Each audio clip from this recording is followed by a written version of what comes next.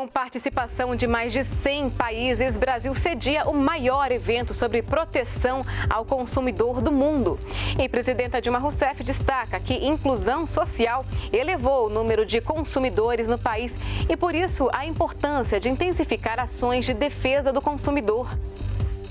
Transformamos milhões de pessoas que estavam excluídas em consumidores. E agora é lei, sancionado o programa de proteção ao emprego. A iniciativa já atende a mais de 30 mil trabalhadores de 33 empresas. E ainda nesta edição, na Semana da Consciência Negra, comunidades quilombolas de todo o país recebem da presidenta os títulos de posse de terras.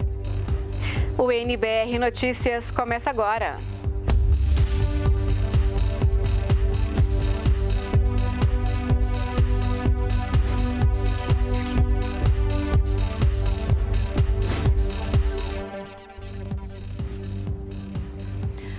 Olá, boa noite. Agora é lei sancionado o programa de proteção ao emprego. A iniciativa já atende a mais de 30 mil trabalhadores de 33 empresas preservar o emprego para ajudar na recuperação de empresas e da economia do país. Este é um dos objetivos do Programa de Proteção ao Emprego. A lei que cria o PPE foi sancionada nesta quinta-feira pela presidenta Dilma Rousseff. A sanção da lei vai permitir que a gente afaste qualquer preocupação com a segurança jurídica do processo e, portanto, vai permitir que mais empresas possam aceder ao programa, ter acesso ao programa e, com isso, ampliar ainda mais o impacto do PPE. Os resultados expressivos já alcançados mostram também o quão importante foi termos ouvido a proposta das centrais sindicais. Hoje, ao sancionar a lei que institui o Programa de Proteção ao Emprego, PPE, eu faço a questão de agradecer ao Congresso Nacional eu agradeço ao Congresso Nacional pela rapidez com que procedeu a aprovação da conversão da medida provisória em lei. E, assim, compartilhou com todos nós o sentido de urgência na análise da proposta. Nos quatro meses em que esteve em vigor por meio de medida provisória, 33 empresas aderiram ao programa de proteção ao emprego, beneficiando mais de 30 mil trabalhadores. Outros 42 pedidos para participar do PPE estão em análise, envolvendo mais de 12 mil trabalhadores. As assembleias que nós fizemos, todas elas foi aprovado por unanimidade, os acordos do PPE porque num momento como esse, o esforço tem que ser coletivo. E os trabalhadores têm entendido que com a queda na demanda, é, com ameaça de demissões, que, que, em nosso caso começou em janeiro com a Volkswagen. Então, era a melhor forma, era continuar lutando por melhorar as condições de retomada da economia, mas enquanto isso não acontece, preservar os empregos. O programa permite que empresas em dificuldade financeira reduzam a remuneração e a jornada de trabalho de seus empregados em até 30%, sendo que o governo federal repõe metade do salário que o empregado perdeu, limitado a 65% do maior benefício concedido pelo seguro-desemprego, o que hoje dá R$ 900,84. Assim, um trabalhador que tem a carga horária reduzida em 30% e que recebia R$ 2.500 por mês vai passar a receber R$ 2.125, sendo que R$ 1.750 pagos pelo empregador e R$ 375 pagos pelo governo com recursos do Fundo de Amparo ao Trabalhador. Nós temos várias empresas conversando seus sindicatos e eu, eu acho que agora, com a segurança jurídica, nós temos um estímulo, elas terão um estímulo adicional. Qualquer empresa de qualquer setor produtivo pode participar do programa, desde que prove que está passando por dificuldade financeira. Essa comprovação vai ser feita por meio de um indicador que representa a diferença entre o número de contratações e demissões nos últimos 12 meses ao pedido. Os empresários têm até 31 de dezembro de 2016 para aderir ao programa e podem participar dele por, no máximo, dois anos. Em contrapartida, os trabalhadores não podem ser demitidos sem justa causa. para além desse critério, eh, o critério de adimplência em relação aos tributos federais. O critério o fundamental é a negociação, o diálogo e o acordo com os trabalhadores das empresas e dos sindicatos. O programa está disponível para toda atividade econômica, todos os setores econômicos e todos os tamanhos de empresas. Nós temos grandes empresas, empresas e setores que têm uma maior tradição de negociação coletiva, mas temos eh, empresas de pequeno porte, de médio porte, de vários setores econômicos aderindo ao programa, o que é muito positivo. A ideia é que, mantendo o emprego, o programa também ajude a sustentar o consumo, favorecendo a recuperação da economia. O programa de proteção ao emprego ainda deve estimular a produtividade do trabalho com o aumento da duração do vínculo empregatício, favorecer a negociação entre empregados e empregadores e aperfeiçoar as relações de trabalho. É vantajoso para todos. Para as empresas, porque podem ajustar sua produção sem abrir mão de seus trabalhadores. O ativo mais importante na retomada, sem incorrer em custos de demissão. Para os trabalhadores, porque preservam seus empregos e preservam a maior parte de seus rendimentos e passam a vivenciar uma menor incerteza em relação ao futuro. Para o governo federal, porque, diante da crise, esta é uma medida de proteção ao emprego. E, além disso, é possível que o gasto com o PPE seja menor do que o, com o seguro-desemprego e ainda preserva a arrecadação das contribuições sociais nós continuamos trabalhando de forma obstinada para reorganizar a situação fiscal do país, para reduzir a inflação e restaurar o crescimento econômico e, portanto, a confiança em nossa economia.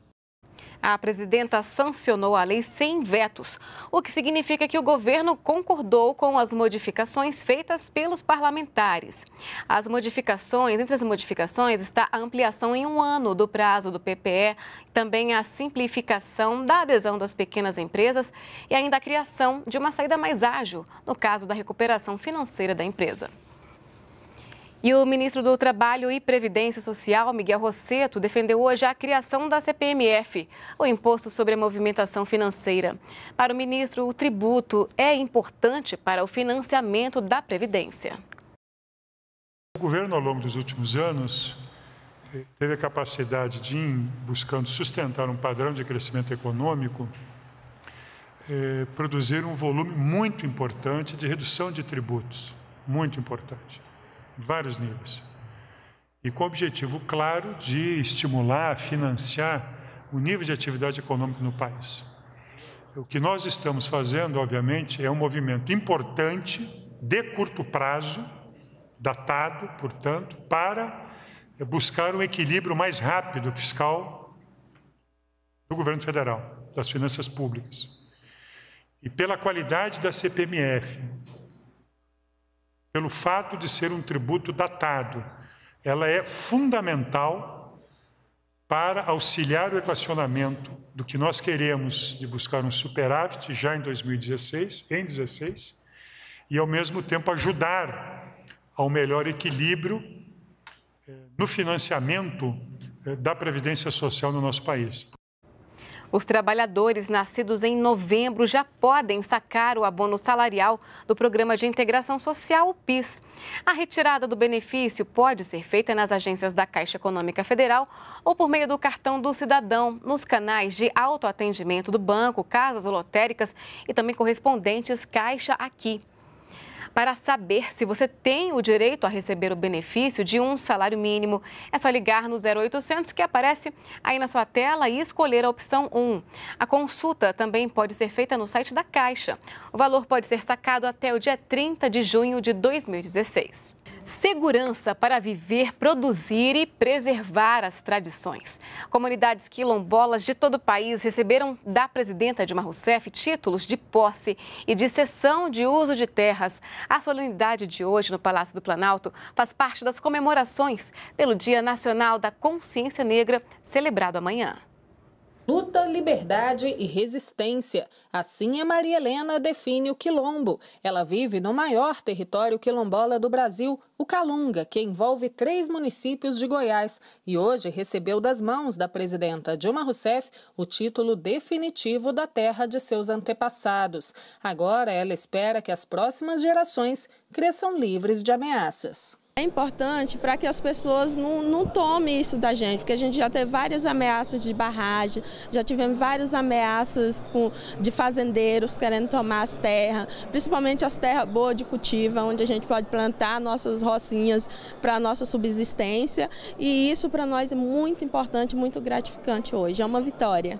Durante a cerimônia em comemoração ao Dia Nacional da Consciência Negra, outros sete títulos definitivos de terras de quilombos foram entregues. Além disso, a presidenta assinou quatro decretos de desapropriação de imóveis inseridos em comunidades quilombolas e onze contratos de concessão de direito real de uso para sete comunidades. Para fortalecer a agricultura familiar nos territórios tradicionais, também foram concedidos mais quatro selos quilombos do Brasil, além do lançamento de uma chamada pública de assistência técnica e extensão rural. Esse pool de iniciativas que nós temos hoje significa um passo muito importante para que nós construamos as nossas políticas de promoção da igualdade racial, contemplando a todos os sujeitos coletivos envolvidos. Porque garantia dos direitos à terra, aos quilombolas, superação do racismo é bom para todo o país, é bom para a democracia, nos reeduca para a relação com a diversidade. A presidenta Dilma Rousseff destacou que todas essas ações voltadas para os quilombolas fazem parte de um esforço mais amplo do governo para pagar a dívida histórica de séculos de escravidão no Brasil. A presidenta lembrou que os negros correspondem a 54% dos brasileiros e que outras políticas afirmativas de acesso à educação e ao emprego ajudam a garantir mais igualdade de oportunidades para essa população população. E a luta contra o racismo, a discriminação pela oferta de oportunidades iguais a todos, nos exige ainda muita luta, muita determinação e temos a obrigação de avançar ainda mais. Que neste meu mandato, a igualdade de oportunidades e direitos a todas as brasileiras e brasileiros, e aqui marcadamente aos afrodescendentes, aos negros e negras do meu país, continuará sendo a nossa diretriz. O projeto de integração do Rio São Francisco, que levará água a grande parte do semiárido nordestino, já está com 81% das obras concluídas. A obra vai atender 12 milhões de pessoas em 390 cidades de Pernambuco, Ceará, Paraíba e também no Rio Grande do Norte. O balanço da execução das obras foi divulgado hoje pelo Ministério da Integração Nacional. Atualmente, mais de 10 mil profissionais trabalham na construção de 470 87 quilômetros do canal, quatro túneis, 14 dutos para transportar a água, nove estações de bombeamento e também 27 reservatórios. No ano em que o Código de Defesa do Consumidor completa 25 anos, o Brasil cedia pela primeira vez o maior evento de proteção ao consumidor do mundo. A abertura oficial do 20 Congresso Mundial da Consumer Internacional foi realizada hoje e quem mostra pra gente é o repórter Leandro Alarcon. O Código de Defesa do Consumidor completou em 2015 25 anos de existência. Durante todo esse tempo, se tornou uma importante ferramenta para que os consumidores possam cada vez mais garantir os seus direitos. É ele que define as responsabilidades na relação entre consumidores e empresas. E com as festas de fim de ano chegando, ele pode ajudar e muito na hora de ir às compras. Eu acho muito importante porque defende a pessoa que está sendo lesada pelo supermercado que acabou todos os preços do supermercado. A gente chega no caixa é outro valor. Sempre tem que usar, tem que ter consciência do que, que está fazendo e do Código do Consumidor. Até porque a gente tem que saber dos nossos direitos para poder exigir mais tarde, né? Segundo o presidente do Conselho do Consumer International, uma organização internacional de defesa do consumidor, James Guest, a lei adotada por aqui transformou o Brasil em uma referência no assunto na América Latina. A declaração foi feita durante a abertura do 20 Congresso Mundial da Consumer International, que acontece em Brasília. O tema do congresso é apresentando uma nova visão para dar poderes ao consumidor. No caso do Brasil, o destaque foi o uso da internet para mediar problemas entre consumidores e empresas. Um exemplo é o portal consumidor.gov. Hoje nós temos 290 empresas, 290 empresas conveniadas que participam do consumidor.gov. O consumidor.gov, ele é na verdade uma interação que se faz entre empresas e consumidor. E o governo, eu costumo usar essa figura, Juliana, ele é um mordomo que apenas conduz a relação entre empresas e consumidor. Para quê? Para que os conflitos sejam resolvidos. Para quê? Para que os conflitos não sejam judicializados. A presidenta Dilma Rousseff também participou da abertura do evento e disse que as políticas para a redução da desigualdade social conseguiram tirar nos últimos anos mais de 30 milhões de pessoas da pobreza, que consequentemente adquiriram maior poder de compra e se tornaram consumidoras. Nos últimos 13 anos, nós tiramos 36 milhões de pessoas da pobreza e elevamos 40 milhões às classes médias. Isso significa que transformamos milhões de pessoas que estavam excluídas em consumidores. E a partir do momento, como nós sempre dizemos, que o fim da pobreza é só o início, é o início do quê? É o início da cidadania do consumidor. E por isso, para nós, a regulação das relações de consumo é parte intrínseca da agenda de, de desenvolvimento econômico e social que implementamos no Brasil. A presidenta Dilma Rousseff afirmou ainda que as ações do governo voltadas para a área de comércio e consumo têm o objetivo de incluir cada vez mais o cidadão. Por isso, estabeleceu a proteção ao consumidor como política de Estado. Todas essas ações fazem parte da nossa agenda de trabalho para assegurar que as brasileiras e os brasileiros tenham pleno direito de consumir produtos e serviços seguros de qualidade, com garantia também de bom atendimento. O portal consumidor.gov.br foi lançado em junho de 2014 e funciona como uma plataforma de reclamações que permite o contato direto entre consumidores e empresas. O site ainda é utilizado como fonte de pesquisas e de elaboração de políticas públicas para o consumidor. O portal já conta com mais de 178 mil atendimentos finalizados. Brasil e Estados Unidos colocam em prática projeto para facilitar o comércio entre os dois países. Evento realizado hoje pelo Ministério do Desenvolvimento, Indústria e Comércio Exterior apresentou os setores que vão ser beneficiados.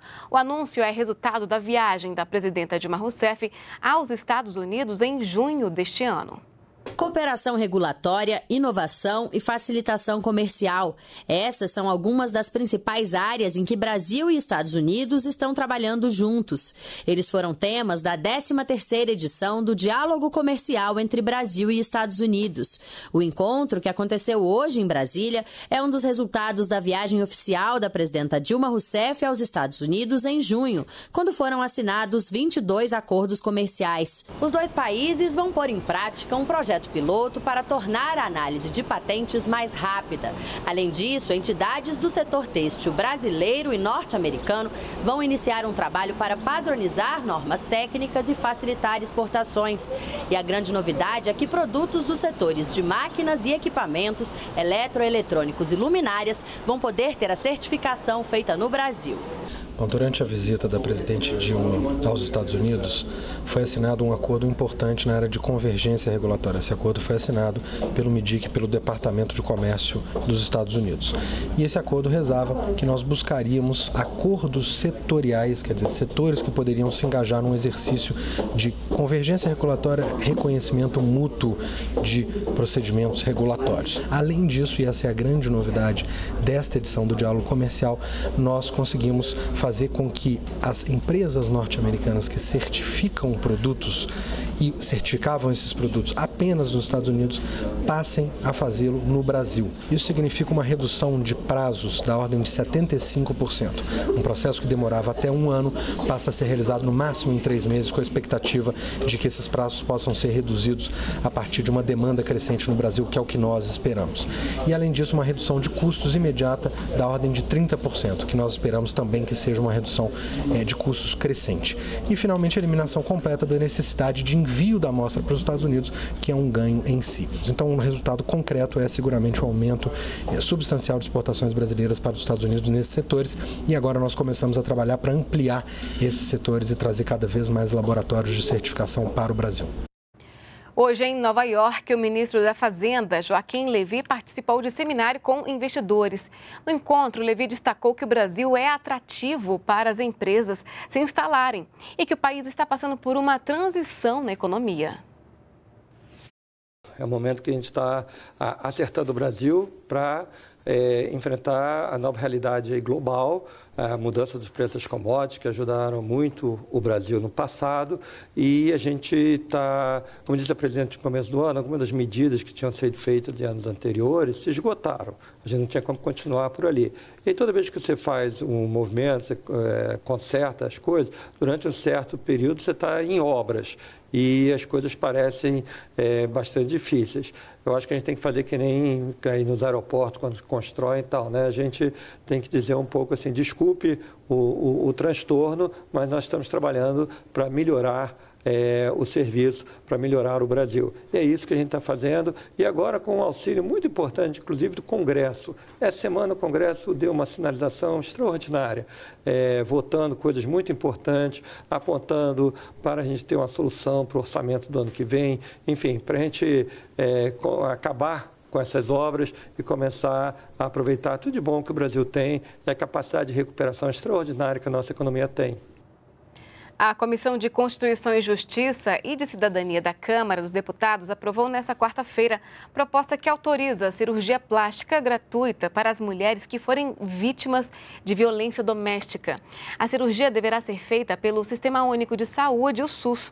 Para garantir esse atendimento, de acordo com a proposta, basta que a mulher leve o boletim de ocorrência. O texto agora segue para a sanção da presidenta Dilma Rousseff. Começa a valer hoje a proibição para comercialização de 43 planos de saúde suspensos na semana passada pela Agência Nacional de Saúde Suplementar, a ANS. Esses planos não cumpriram prazos de atendimento ou se negaram a prestar o serviço aos seus clientes. Vale destacar que o atendimento para quem já é cliente desses planos continua normal. A suspensão da venda dos planos faz parte de um programa da ANS que avalia as operadoras a partir das reclamações dos clientes. Até agora, mais de 1.100 planos tiveram as vendas suspensas e outros mil planos voltaram ao mercado após comprovar melhorias no atendimento. A lista completa das empresas suspensas você encontra no site da ANS foi divulgado o resultado final dos vencedores do segundo concurso de aplicativos e jogos eletrônicos Inova Apps do Ministério das Comunicações. Os 100 projetos vão receber uma premiação de 50 mil reais cada, o que totaliza 5 milhões de reais em prêmios. O repórter João Pedro Neto mostra agora um desses aplicativos inovadores. Encontrar o ponto de coleta mais próximo para doar sangue ou sugerir um local para que seja realizada uma campanha de coleta de sangue externa, como em empresas, universidades e em comunidades. Tudo isso com poucos toques na tela do celular. Esse é o projeto do Vinícius Gonçalves, do Rio de Janeiro, um dos escolhidos no Inoveps, concurso do Ministério das Comunicações, que selecionou propostas de aplicativos e jogos que sejam de interesse público, em temas como educação, saúde, mobilidade e segurança. Agora, ele vai ter um prazo para tirar o projeto do papel e disponibilizá-lo gratuitamente em lojas virtuais de aplicativos. Ao todo, 100 propostas de aplicativos inovadores, como a do Vinícius, foram selecionadas este ano na segunda edição do Inoveps. Os desenvolvedores vão receber 50 mil reais cada, num total de 5 milhões de reais em premiações. O governo monitora áreas afetadas pelo rompimento de duas barragens na região de Mariana, em Minas Gerais. A empresa Samarco, controlada pela Vale BHP Billiton, terá que apresentar um plano de prevenção e contenção da lama para a proteção de ecossistemas no litoral do Espírito Santo. Se o plano não for apresentado, a mineradora pode ser multada em até 10 milhões de reais por dia, segundo a Justiça Federal no Espírito Santo. A Samarco confirma o recebimento das solicitações da Justiça Federal e disse em comunicado que vai analisar cuidadosamente as decisões. E agora a repórter Luana Karen tem ao vivo mais informações sobre esse trabalho que vem sendo realizado ali nas áreas afetadas. Luana, uma boa noite para você. Boa noite, Aline. Boa noite a todos. Desde o início da semana estão sendo realizadas ações de emergência para proteção da fauna na região afetada pelo rompimento das barragens. Uma das medidas é a transferência de ninhos de tartarugas marinhas para áreas que não deverão ser atingidas diretamente pela onda de rejeitos de mineração. Também foram colocadas barreiras de contenção para evitar ou atenuar o avanço da lama em áreas de desova. Outra medida é a captura de peixes ameaçados para ser feito um estoque genético e iniciar iniciar o processo de reprodução em cativeiro. Técnicos do IBAMA e do ICMBio também estão mapeando os rios por onde os peixes de superfície estão fugindo da lama. O diretor do Departamento Ambiental do IBAMA, Luciano Menezes Evaristo, disse que a lama destrói o ecossistema por onde passa e mata os peixes e que o Instituto vai trabalhar para recuperar o Rio Doce. Após a estabilização do acidente, haveremos de, junto com o Estado de Minas Gerais e o Estado do Espírito Santo, é, e junto, ouvindo especialistas das nossas universidades e também especialistas que enfrentaram essa situação no exterior, para que a gente possa realmente implantar medidas de recuperação do rio é, com base em conhecimento científico, para que a gente possa tratar é, cientificamente a questão da, da recuperação e colocar esse ônus é, para a empresa que causou é, esse grande dano ambiental, essa catástrofe ambiental. O diretor do IBAMA disse ainda que não há possibilidade da lama chegar a abrolhos. O estudo das correntes marinhas indicam que não há a mínima probabilidade é, dessa mancha atingir os, os, recifes e os corais é, da região de Abrolhos. O IBAMA ainda faz um alerta para quem está retirando os peixes do Rio Doce e transferindo para lagoas por conta própria. Segundo o Instituto, a medida, mesmo que bem intencionada, pode piorar a situação, uma vez que os peixes de rio têm comportamentos e necessidades diferentes dos peixes que vivem em lagoas. Voltamos com você, Aline. Tá ok, Luana Karen, muito obrigada pelas suas informações ao vivo. O verão está chegando. Nessa época, aumenta a procura pelo, pelo melhor lugar para passar as férias. Para conquistar mais turistas para o Brasil, a Embratur preparou uma campanha especial. O vídeo passa pelas regiões brasileiras, mostrando destinos que podem agradar a todos os gostos e idades. A campanha tem como tema Viva o Verão de Perto, Venha para o Brasil e já está sendo veiculada em países da América do Sul, como Argentina, Uruguai, Paraguai e Chile. Em 2014, o Brasil recebeu mais 3 milhões de turistas dos países desses locais. E hoje é o Dia da Bandeira do Brasil. A data começou a ser comemorada em 1889, quando o Império deu lugar à República e a bandeira do país foi substituída. A bandeira é um dos principais símbolos de uma nação. Aqui no Brasil, a confecção da bandeira, com detalhes como o tom das cores e também a disposição das estrelas, deve seguir um padrão determinado pela legislação. Em Brasília, a principal cerimônia envolvendo esse símbolo nacional é a da troca da bandeira, que ocorre a cada primeiro domingo do mês. Esta edição do NBR Notícias fica por aqui. Outros detalhes sobre os serviços e as informações do governo federal no Portal Brasil. E no encerramento do jornal de hoje, você vai acompanhar imagens da bandeira do Brasil na Praça dos Três Poderes, aqui em Brasília, que é a maior bandeira hasteada no mundo. Para você, uma boa noite e até amanhã. Continue com a gente aqui na NBR, a TV do Governo Federal.